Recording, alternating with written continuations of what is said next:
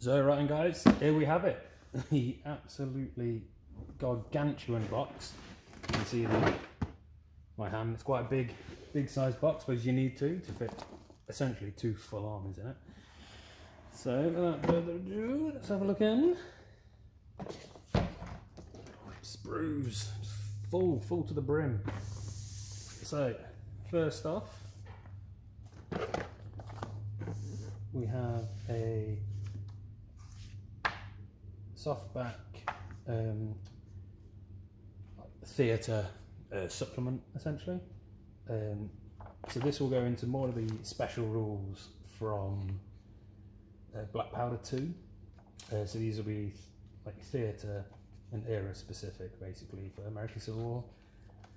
So I've got a few pages of like the overview and history of the American Civil War and why it went to war and stuff. Then we go into the rules. Um, so there's some terrain rules. Uh, go into the army. So obviously this is the, the fighting values of the cavalry. And we go at cover modifiers. Um, I know here, so unlike normal black powder, you can just move straight through. However, the modifiers try and move through your own friendly units. All the weapons and stuff that we have. Uh, this is quite a important part.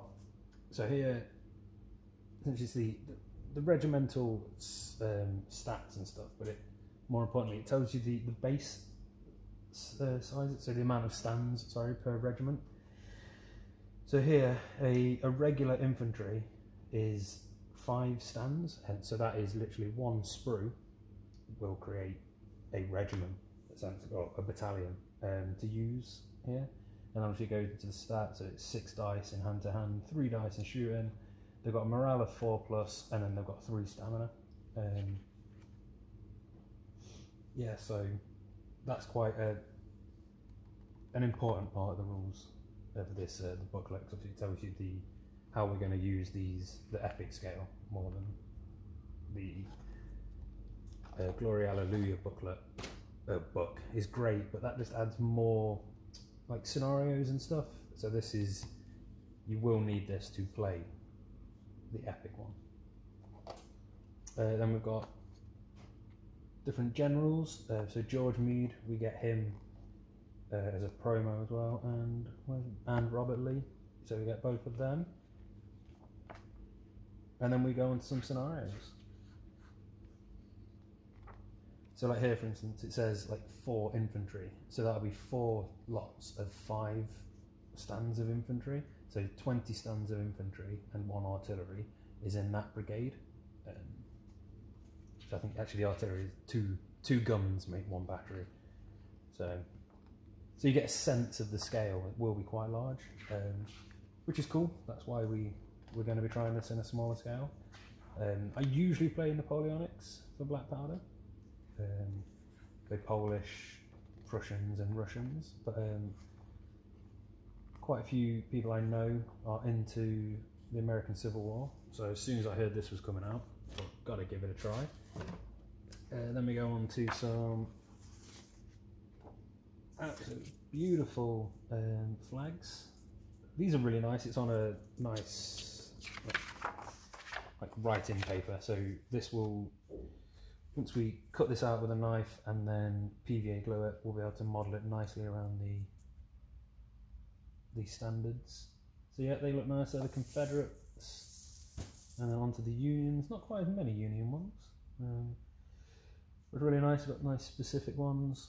And yeah, they just look very nice. Iron Brigade. Uh, they're coming out as separate. So these Zouaves, they're coming out separately. Um, they're up, up for pre-order now, but um, yeah. And we've got some nice Sarissa Precision. They would make lovely, lovely scale uh, terrain. Two farm buildings and then some snake fence, um, which is iconic to the American Civil War. And then we've got a huge old box of sprues. So 24 sprues all in all. That's, like I said, 2,400 individual miniatures, if you used to count them all. Because um, obviously they're in strips of 10. Um, so they've done blue and grey. So if you wanted to go out of the box, glue them together, they have green bases and then these grey and blue, so Confederate and Union. If you wanted to go for that like risk board game look, um, the the grey is not going to show up on that mat that we've chosen. So if I get that as a backdrop,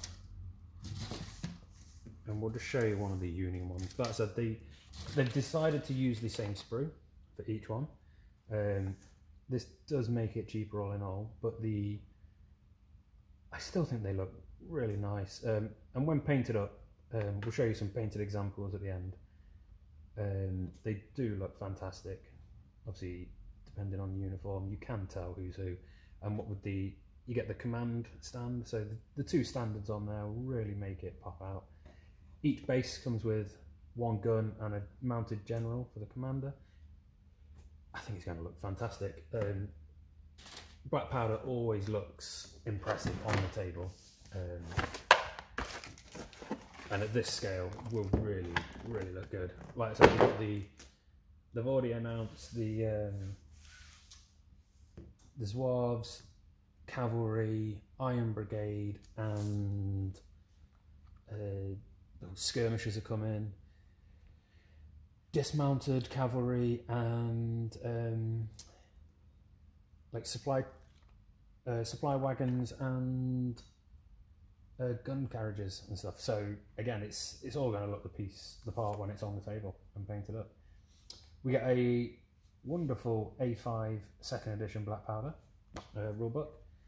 I believe this is the full rulebook, the full same as the hardback, just shrunken down. Um, very handy.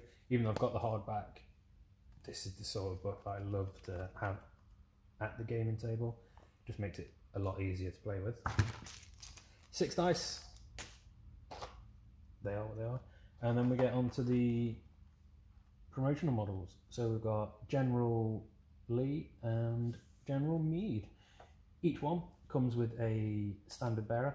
Uh, I believe the standard bearer is the same.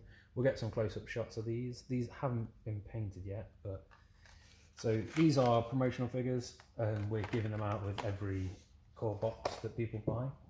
Um, and yet we'll get some painted examples up. Um, as you can see, it's the five stands together form one battalion. Um, so yeah, the like I said, when the list says for a scenario you need four times infantry, that's four lots of what you can see now on the screen. Um, so essentially, be 400 of these little miniatures. But yeah, as we're looking forward to demoing this in store, uh, we might do some playthroughs of it for YouTube and stuff because it just it's it's going to be breathtaking when it's done, um, like a full battle. Not saying we're going to be able to do Gettysburg with it. There was a lot of soldiers there, but we'll see. We might be able to get some of the the smaller battles done. Um, they still they're still going to look great even in this scale. So. Cheers, guys.